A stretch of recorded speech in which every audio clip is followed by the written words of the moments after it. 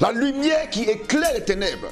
Et qui fait comprendre aux hommes que, en tant qu'enfants de Dieu, nous sommes d'abord éducateurs par notre vie, éducateurs par notre, par notre raisonnement. Et nous devons apporter réellement cette pensée-là. L'héritage. Je n'accuse même pas les pères. En ce qui concerne la politique, il faut dire que les pasteurs ont été instrumentalisés par les hommes politiques. Et ils savaient que s'ils avaient la caution, s'ils avaient la caution des hommes de Dieu, ils allaient avoir aussi forcément un bétail électoral. Lorsque quelqu'un est évangélique, il trouve qu'il ne peut même pas s'asseoir et parler avec un catholique. Il trouve qu'il ne peut même pas discuter avec un musulman parce que pour lui, cet homme-là est possédé par exemple.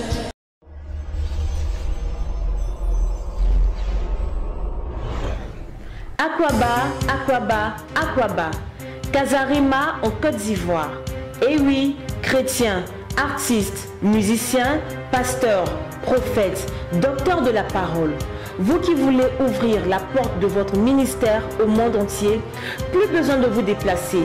Le monde vient à vous à travers notre site internet www.casarima.fr. Casarima, c'est une télévision disponible sur Drivebox Orao, une radio qui émet directement sur notre site internet et une application disponible sur vos smartphones Android.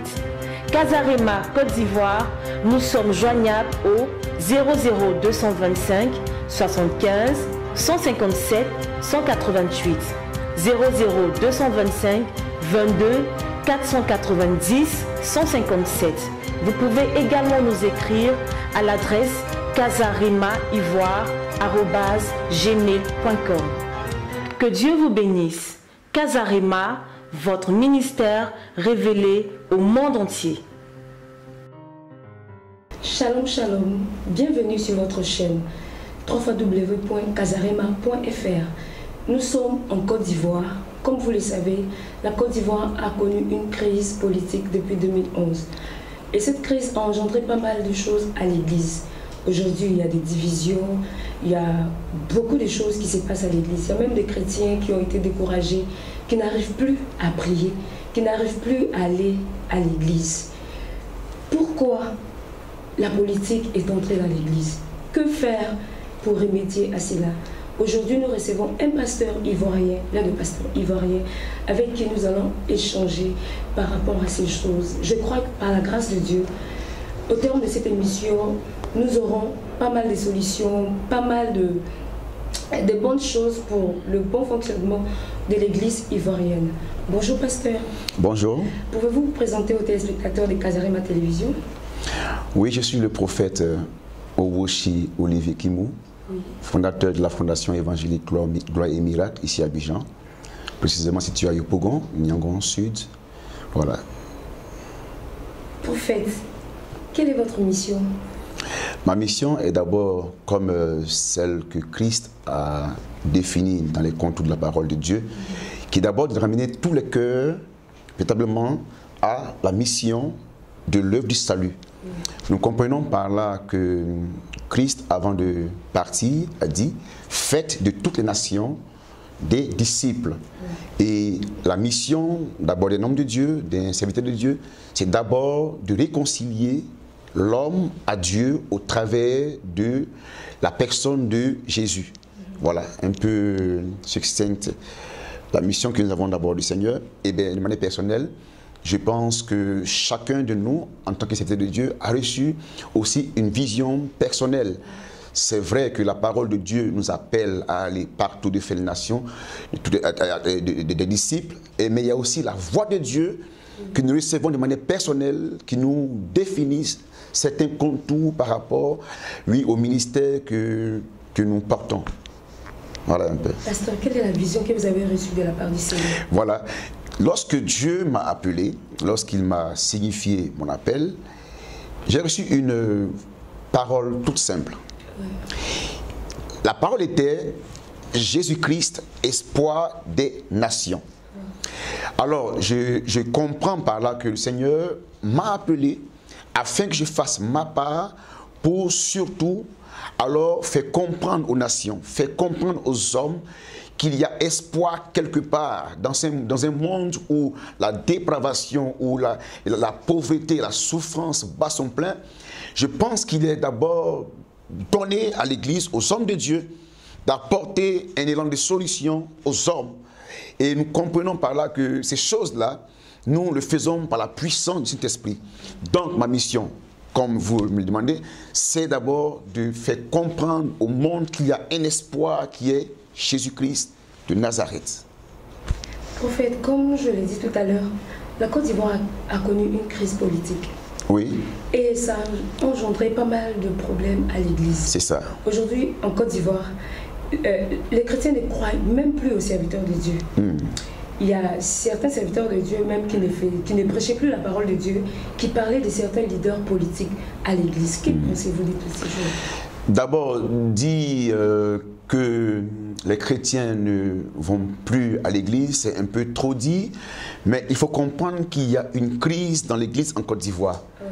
Et cette crise est d'abord euh, pas forcément, ne, ne prend pas naissance dans la politique, mais d'abord, c'est d'abord, euh, je veux dire quoi, Euh, c'était d'abord un problème d'immaturité. Voilà. Et il y a aussi un problème de, euh, de leadership au niveau même de, des instances dirigeantes de l'Église. La Côte d'Ivoire a connu plusieurs, plusieurs fédérations évangéliques et il faut dire que je suis d'accord avec vous parce qu'à un moment, à la faveur de, de, la, de la politique, il y a eu une division euh, entre serviteurs de Dieu. Chacun était rattaché à un bord politique par rapport aux avantages peut-être qu'ils avaient. Oui, ça, je suis d'accord avec ça. Mais il faut dire que d'abord, la, la première cause du mal de l'Église de Côte d'Ivoire, c'est d'abord l'immaturité l'immaturité. Il n'y a pas eu d'accent euh, focalisé sur la formation des hommes de Dieu. Il y a eu euh, un désordre et, il y a eu, je vais dire quoi, euh, dès 2000, euh, je vais dire quoi, dès, dès- dès 2000, il y a eu, je vais dire quoi, je, vais dire un réveil, un, réveil qui s'était manifesté à la faveur du ministère du prophète Akou Sévérin et qui véritablement avait impacté la nation. Et il y a eu plusieurs jeunes serviteurs de Dieu qui, sont, qui ont émergé, qui ont émergé, mais je pense qu'il n'y a pas eu de suivi concret, concret, concret. Et cela, aujourd'hui, nous portons, nous endossons les responsabilités.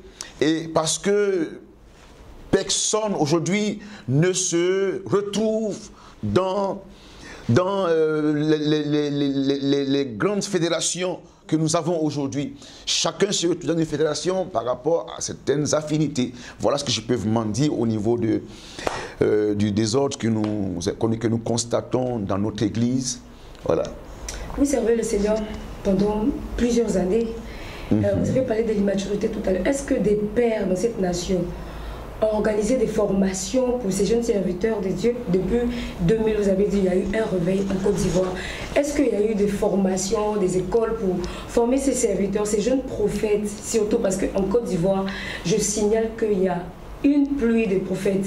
Il y a peu de pasteurs, peu d'apôtres, mais ici, partout, il y, a, il y a beaucoup de prophètes, prophètes des nations, prophètes de ceci, il y a des babas, il y a, il y a tellement de titres aujourd'hui. Est-ce que vous avez organisé des programmes de formation pour ces jeunes serviteurs de Dieu?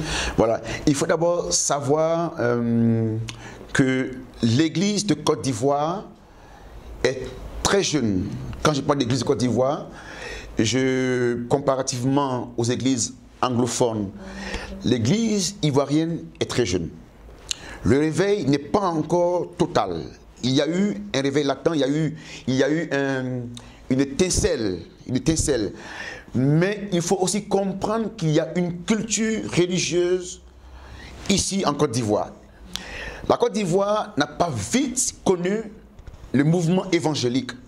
Je vous rappelle que les premières églises évangéliques que nous avons connues en Côte d'Ivoire sont les baptistes qui étaient au nord de la Côte d'Ivoire. Il y a eu des églises comme le USO qui étaient à l'ouest. il y a eu l'Assemblée de Dieu qui vient du Burkina Faso qui était établie ici au sud. Sans compter qu'il y avait les deux grandes, qu'il y avait deux grandes églises, l'église catholique romaine et l'église protestante méthodiste. Voilà.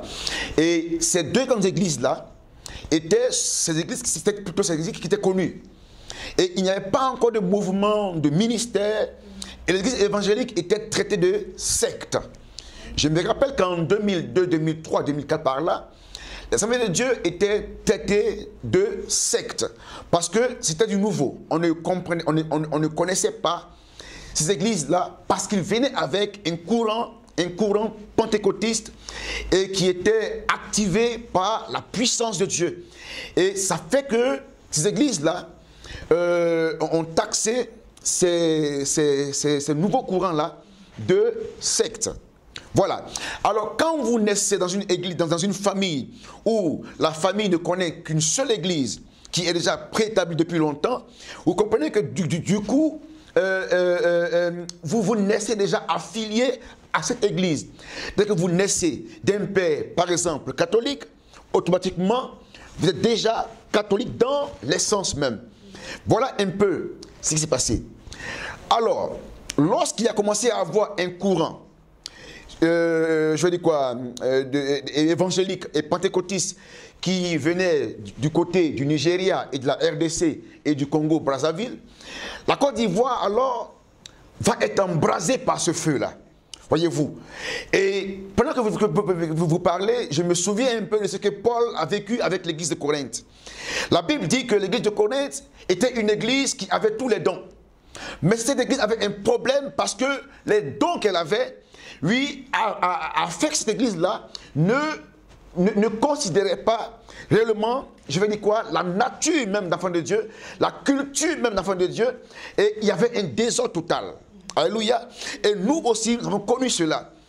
Il faut dire que la Côte d'Ivoire aussi était dans un mouvement où on venait de découvrir quelque chose de nouveau. Voyez-vous. Et quand ça, ça, ça a commencé, il y avait d'abord une réticence.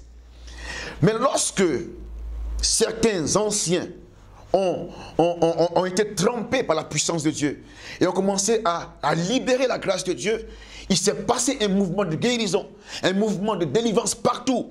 Et alors, ça a commencé à susciter déjà aussi pour la jeune génération de l'envie de servir Dieu. Alléluia. Et il faut dire que, vous, l'avez dit, et je mets aussi, je tends aussi responsable de cela, aussi nos pères qui n'ont pas su cadrer les jeunes serviteurs et les ont révélé les appels et les ont suivis, les ont accordé par exemple des opportunités de, de, prêcher la parole de Dieu très jeunes sans être réellement convertis dans le fond. La Bible dit qu'il n'est pas bon de donner la parole, du moins la parole de Dieu, à quelqu'un qui est jeune dans, dans euh, je veux dire quoi, dans la connaissance. Et nous avons connu un mouvement, un mouvement parce qu'il y avait plus de puissance que d'éducation. Il y avait plus d'onction, de, comme on le dit, en griffe, que d'enfants de, Dieu en tant que tels. Donc on voyait plutôt les serviteurs de Dieu, mais on ne voyait pas en eux l'enfant de Dieu. Et aujourd'hui, euh, quand vous regardez à la vue de, tout ça, vous comprenez que l'église du Côte d'Ivoire, euh, on voit plus euh, des gens rechercher la puissance, la notoriété. Rechercher plutôt, je dis quoi, euh, euh, euh, la gloire de ce monde. Et plutôt que, plutôt de brandir la qualité d'enfant de Dieu. Plutôt que de brandir cette lumière que nous avons reçue de Saint-Esprit. La lumière qui éclaire les ténèbres. Et qui fait comprendre aux hommes que, en tant qu'enfants de Dieu, nous sommes d'abord éducateurs par notre vie éducateurs par notre, par notre raisonnement. Et nous devons apporter réellement cette pensée-là.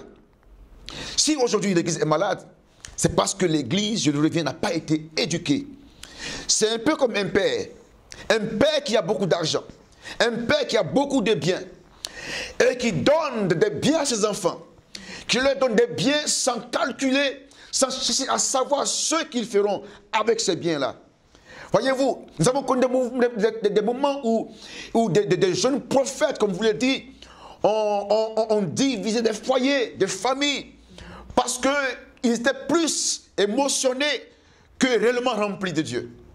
Et il faut aussi dire que il n'y a pas eu réellement, je veux dire quoi, un brisement, un brisement dans la vie de beaucoup de Dieu, de Dieu.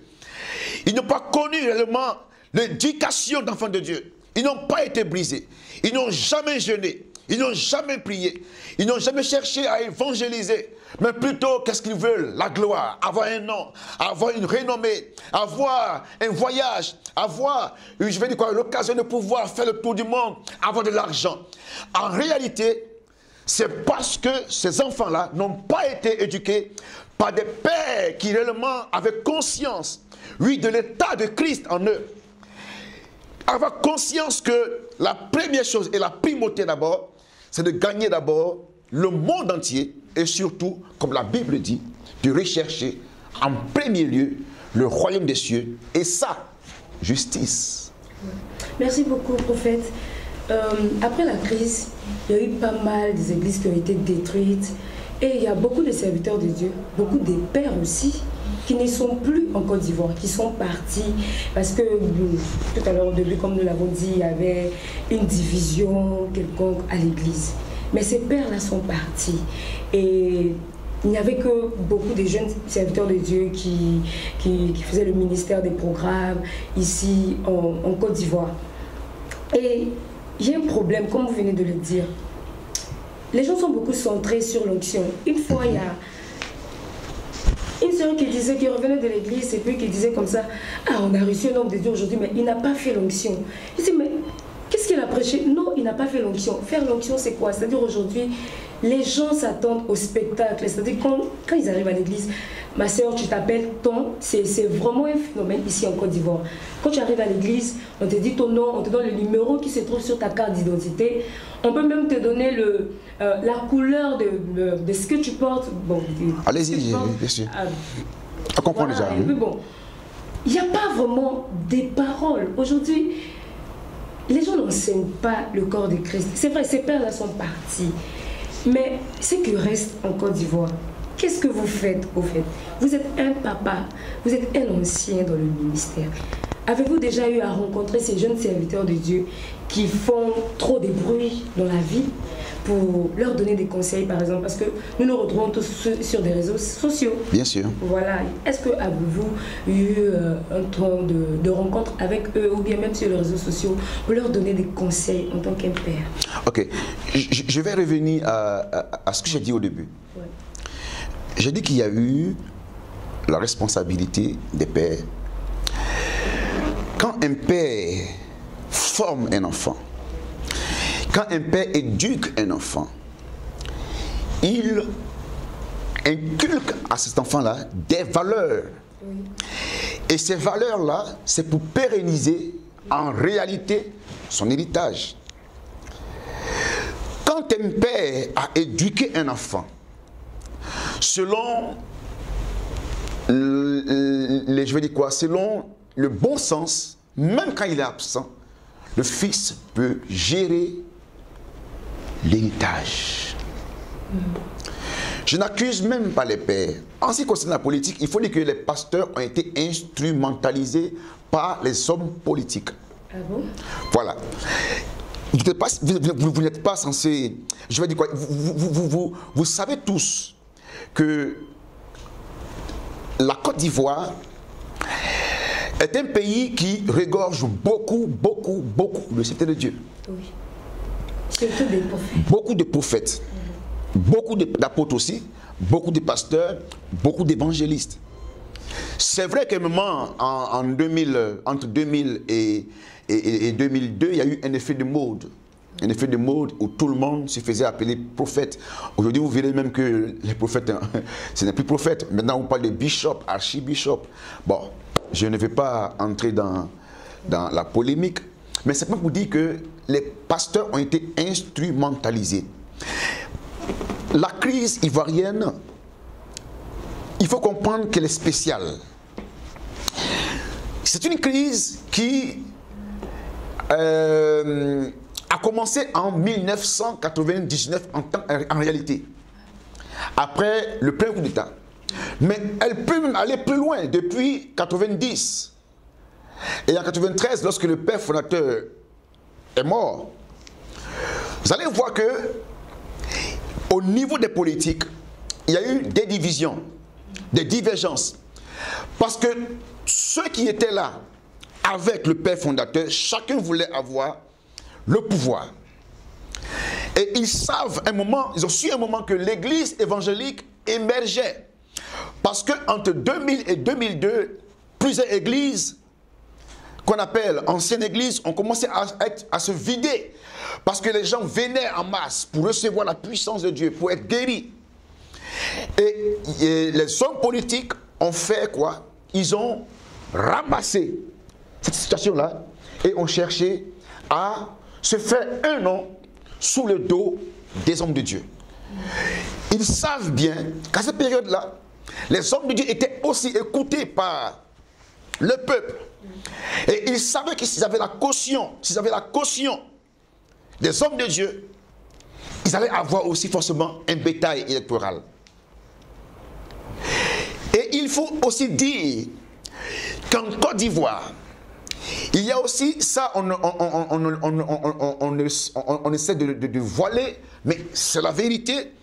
En Côte d'Ivoire, il y a vraiment une immaturité au niveau, au niveau des relations interreligieuses. Aujourd'hui, par exemple, lorsque quelqu'un est évangélique, il trouve qu'il ne peut même pas s'asseoir et parler avec un catholique. Il trouve qu'il ne peut même pas discuter avec un musulman parce que pour lui, cet homme-là est possédé, par exemple. Voyez-vous, c'est parce que les hommes et les enfants de ce pays n'ont pas reçu réellement le Seigneur dans toute sa dimension. J'ai dit un jour à un, homme de Dieu, je lui ai dit que je peux entrer partout parce que ma Bible me dit que celui qui est à moi est plus fort que ce qui est dans le monde. Alors il y a eu la méfiance. Et alors chaque, chaque pasteur suivait le leader qui incarnait sa vision, qui incarne ses projets. Alléluia. Et les hommes de, politique aussi ont, ont, saisi l'occasion pour véritablement gangréner l'église, diviser l'église. Vous savez ce qui est arrivé après? Il y a eu la guerre. Beaucoup sont partis en exil parce que menacés. Certains ne sont pas, euh, je vais dire quoi, n'ont rien fait, mais seulement parce qu'ils étaient du bord politique peut-être peut-être simplement par, par, affiliation ou par affinité, ont été aussi menacés et ils sont partis en exil. Nous croyons que tout sera mis en œuvre pour leur retour, pour qu'enfin, ensemble, on puisse donner à l'Église de Côte d'Ivoire un nouveau nom. Un nom qui va faire que cette plaie-là sera effacée. Parce que je crois en cette Église. En Côte d'Ivoire, il y a des grands leaders il y a des grands pasteurs, il y a des gens vraiment ouins par Dieu. Et mais souvent, nous sommes un peu, je vais dire quoi, ils sont peut-être cachés par le bruit, par le bruit de plusieurs serviteurs de Dieu. Aujourd'hui, à cause de toutes ces choses, la convoitise qui a pris la tête, qui, qui a pris le cœur de plusieurs jeunes, certains même aujourd'hui se voûtent dans le fétiche. Et parce qu'ils veulent avoir la renommée, l'argent, oui, certains mentent aux familles, mentent aux chrétiens. Certains formant des projets, vous avez parlé tout à l'heure de, de numéro de téléphone, de, de, de, nom. Nous avons, nous, avons, nous avons aussi eu des informations comme quoi des gens prenaient des noms et des numéros de téléphone de certaines personnes et qu'ils donnaient au pasteur qui venait faire semblant, c'est comme il avait le ciel de Dieu. Ah, et bien c'est ça. C'est ça.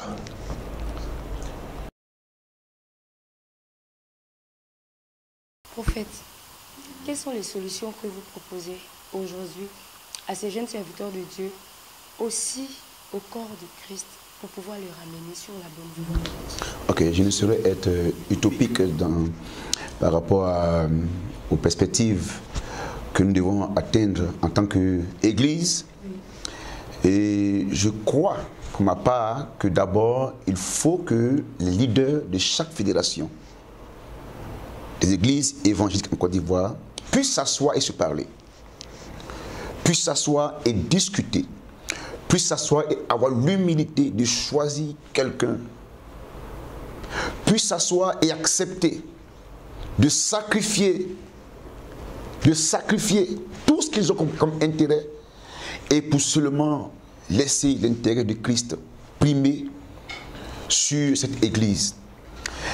Je suis optimiste quant à la restauration de cette église parce qu'il y a un potentiel, tant moral, tant spirituel. Il y a en Côte d'Ivoire la foi. Les chrétiens aspirent à aller loin avec Dieu. Il faut le dire, quand vous êtes dans l'église, vous verrez des gens qui jeûnent et prient pour les pasteurs. Et je crois qu'il y aura une solution. Mais comme je l'ai dit, il faut d'abord s'asseoir et discuter. C'est un concept qu'on a ici en Côte d'Ivoire. Asseyons-nous et discutons. Et si aujourd'hui, j'interpelle nos pères, j'interpelle nos responsables, il faut s'asseoir ensemble sur une même table et regarder le Seigneur en face et discuter. Lui et apporter pour l'Église des solutions avec les mêmes pensées et les mêmes visions. J'ai prêché avant-hier à l'église où je disais que la seule chose qui a fait que Dieu ait peur de l'homme, c'est le jour où les hommes avaient le même langage et le même but à Babel. La Bible dit que Dieu va dire, si on ne fait rien, ils vont atteindre leur objectif. Mais la seule nuance, sinon la seule raison qui a fait que Dieu a agi, c'est parce qu'ils ont voulu se faire eux un nom.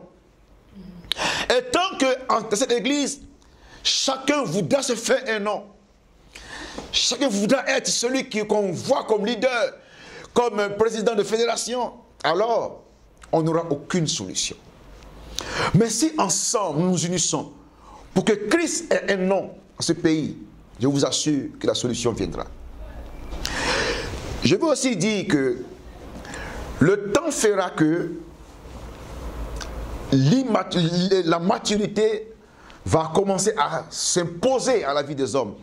Parce que quand un homme commence dans le faux, au fur et à mesure, au fur et à mesure, il commence à se rendre compte qu'il est dans le faux. S'il a un bon sens, il peut se repentir et puis revenir dans la raison.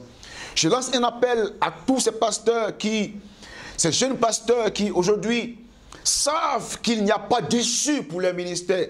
Il n'y a pas d'issue dans ce projet de vouloir être grand par, leur propre force, de chercher à revenir au pied du maître, de revenir au pied des pères, de revenir au pied, de revenir à la chambre haute. Oui, de revenir dans le programme de jeûne, de prière. Le pays est vaste, mais nous tous, nous sommes concentrés à Abidjan. Parce que nous avons un, chacun, chacun a ses ambitions personnelles. Chacun veut avoir sa chapelle. Chacun veut avoir son, empire. Alléluia. Si seulement euh, ces, jeunes-là prennent conscience qu'on ne devient pas pasteur après cinq ans de conversion, même, même pas après sept ans de conversion. C'est une vie le ministère. Alléluia, c'est une vie. Ici en Côte d'Ivoire, il y a des gens qui, qui ont la carrure, qui ont l'onction, qui ont la puissance, qui ont l'éducation, qui ont la parole. Il y en a. Il y en a. Mais ils ne veulent pas, ils ne veulent pas associer leur image au faux. Et ils ont raison. Ils ne veulent pas associer leur image au faux. Non. Ils sont obligés de chercher à faire cavalier seul. Par motif de force, de cas de force majeure. Et si aujourd'hui, nous regardons l'intérêt de Christ, je suis convaincu que l'Église en Côte d'Ivoire sera forte. Parce que nous devons aussi décider dans ce pays. Nous avons un droit de décision. Nous devons parler aussi aux politiques. Mais nous devons parler d'une voix, d'une seule voix, une voix commune. Parce que les catholiques parlent d'une voix. Les méthodistes parlent d'une voix. Mais pourquoi pas nous? Alléluia. Les solutions sont multiples. Mais la solution idéale, d'abord, c'est que les leaders s'asseyent et discutent. Ce qui est bien en Côte d'Ivoire, c'est que tous les pasteurs se connaissent. Nous nous connaissons tous.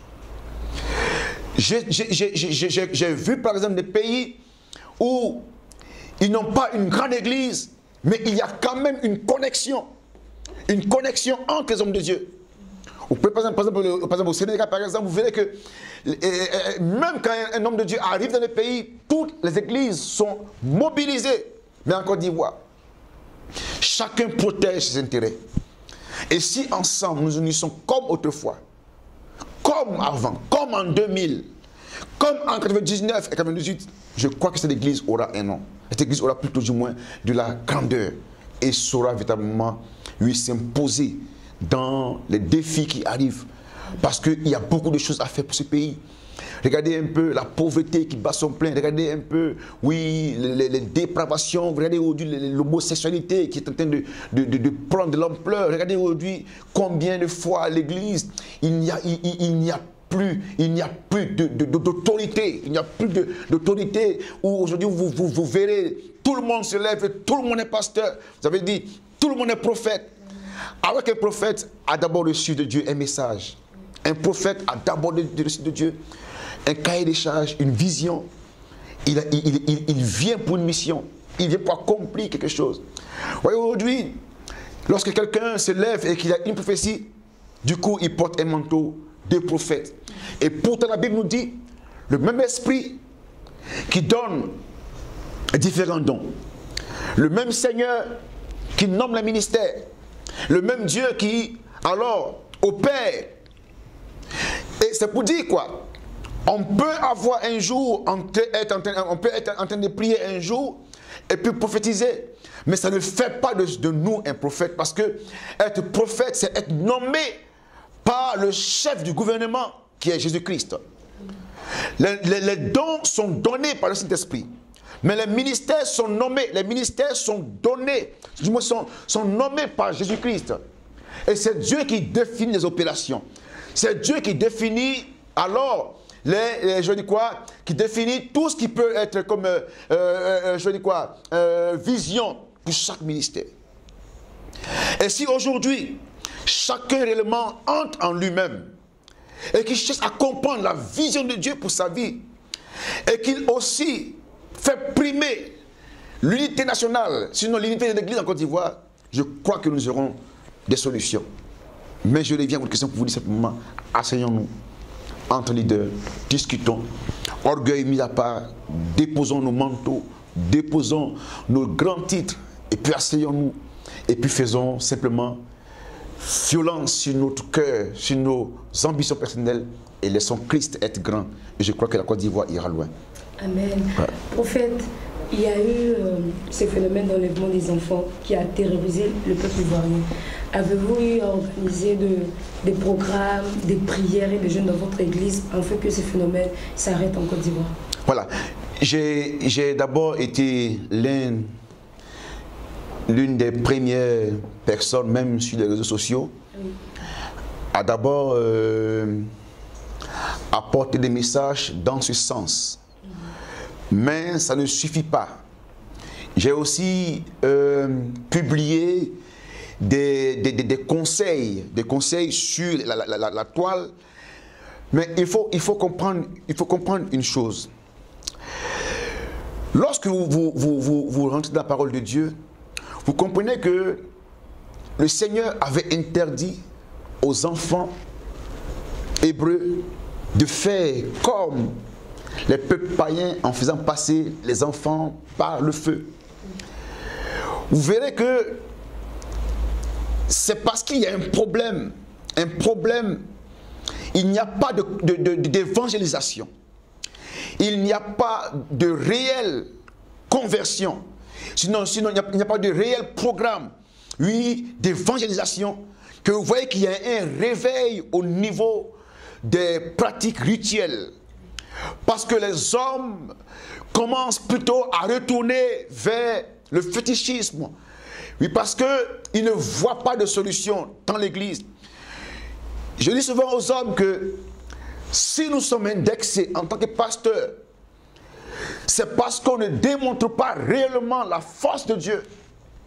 S'il il se dégageait en nous la réelle force de Dieu, si les malades étaient guéris réellement, si les vies étaient sauvées alors et délivrées, si les femmes enfantaient, si la prospérité se répandait, je ne crois pas que les hommes iraient vers les marabouts. Parce que l'Église a démissionné. que les hommes cherchent des solutions ailleurs. Ils préfèrent repartir vers les sacrifices parce qu'ils ne croient pas à l'Église. Nous avons fait des programmes, nous avons fait des, des moments de prière, mais il faut aussi, il faut aussi, comme, je l'ai je, tantôt, il faut aussi approcher l'intérêt du pays. Il faut, il faut faire comprendre aux gens que Christ est la solution. Christ est l'espoir. Il n'y a aucune, victoire dans le sacrifice. Il n'y a aucune victoire dans, dans, dans, dans les œuvres rituelles. Il n'y a aucune victoire dans le sang des bébés. Non. Il y a une seule victoire. C'est le sacrifice perpétuel manifesté à Golgotha depuis 2014 ans par la personne, depuis 2015 ans, par la personne de Jésus. Et la Bible nous dit que ayez en vous les sentiments qui étaient en Christ, lequel existant en forme de Dieu, n'a point cherché comme une proie à arracher d'être égal à Dieu. Et plus bas, vous verrez que il s'est humilié, il s'est dépouillé, et il a pris une forme de serviteur. Il est devenu serviteur. Il a souffert jusqu'à la mort, la mort de la croix. La Bible dit qu'il était pendu au bois. Pourquoi? Pour que, Parce que parce qu'il devait, trans, il, devait transmettre la liberté. Il devait transmettre la vie. Et en cela, la Bible dit que Dieu l'a alors élevé de manière souveraine. Et Dieu lui a dit, tu as reçu le nom qui est supérieur à ton nom. Afin qu'en son nom, les genoux fléchissent et elle en confesse. Le pouvoir n'est pas dans le sang des animaux. Le pouvoir n'est pas dans le sang des bébés. Mais le pouvoir est dans le sang de Jésus-Christ. Alors je, je, vais, profiter de, de, votre caméra pour dire à l'Église, démontrer Christ dans sa puissance. Il faut que la gloire de Dieu explose. Il faut que les hommes voient sa puissance. Et ils ne croiront point aux féticheurs. Ils ne croiront point aux marabouts. Parce qu'eux-mêmes auront une jugeote pour comprendre qu'il n'y a pas de solution ailleurs qu'en Christ. Merci beaucoup, prophète. Pouvez-vous nous donner euh, vos différents programmes de l'Église? Voilà, nous avons, comme euh, euh, dit, nous sommes à Yopougon, à Yopougon, Nyangon Sud. Et nous avons nos programmes de semaine, les mercredis, de 19h à 20h. Et ce sont des jours de, de, de prière, d'intercession, et par moments de, de, petits, de, de petites hésitations. Et les samedis matin, nous avons des programmes d'enseignement, d'enseignement et d'entretien de, de, d'âme. Et c'est ce même samedi que je peux aussi recevoir des gens qui ont des préoccupations personnelles. Et le dimanche, nous commençons le culte à 9h30, de 9h30 à midi, midi 30. Tout dépend de comment est-ce que l'esprit conduit les programmes. Voici un peu nos programmes dans la semaine, mais il faut dire que nous faisons aussi des programmes de veille de prière. Euh, nous faisons souvent quand je suis quand, donc quand, quand je le sens, je, je, le fais. Mais au niveau des veilles des, des, veilles des prières, il n'y a pas un programme, euh, voilà, il n'y a, a, pas un programme déjà établi, établi voilà. D'accord, merci beaucoup, pasteur. Mm -hmm. Pouvez-vous donner euh, vos différents contacts? Voilà, je suis au 07 35 33 42. Vous pouvez reprendre votre numéro avec euh, l'indicatif de la Côte d'Ivoire. Ok. 010 Voilà, je suis au, au 00 ou bien le plus 225 07 35 33 42. Votre adresse email o owoshi oui. arrobase gmail.com o o h o u o c h i arrobase gmail.com. Vous êtes aussi sur Facebook, n'est-ce pas? Facebook, simplement nom de profil Owoshi Olivier Kimou. Merci beaucoup, prophète. Nous espérons vous retrouver très prochainement. Merci. Que le Seigneur vous bénisse. Amen. Merci. Merci de nous avoir suivis, chers serviteurs de Dieu, chers enfants de Dieu. Nous sommes au temps de la fin. Jésus revient vraiment, comme le prophète venait de le dire. Asseyons-nous et discutons. Vous qui avez pris le temps de nous suivre, en tant que serviteurs de Dieu, c'est le moment de prendre des décisions qu'il faut pour que l'Église puisse reprendre sa place initiale dans la nation ivoirienne. N'hésitez pas à nous contacter sur nos, numéros qui s'affichent là au bas de vos écrans. Que le Seigneur vous bénisse et à très prochainement.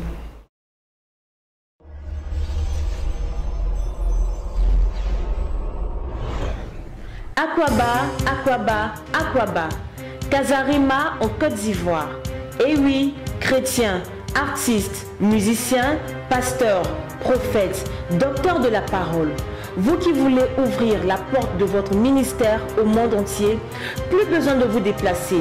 Le monde vient à vous à travers notre site internet www.casarima.fr. Casarima, c'est une télévision disponible sur Drivebox Orao, une radio qui émet directement sur notre site internet et une application disponible sur vos smartphones Android. Casarema Côte d'Ivoire, nous sommes joignables au 00225 75 157 188 00225 22 490 157. Vous pouvez également nous écrire à l'adresse casaremaivoire.gmail.com Que Dieu vous bénisse. Casarema, votre ministère révélé au monde entier.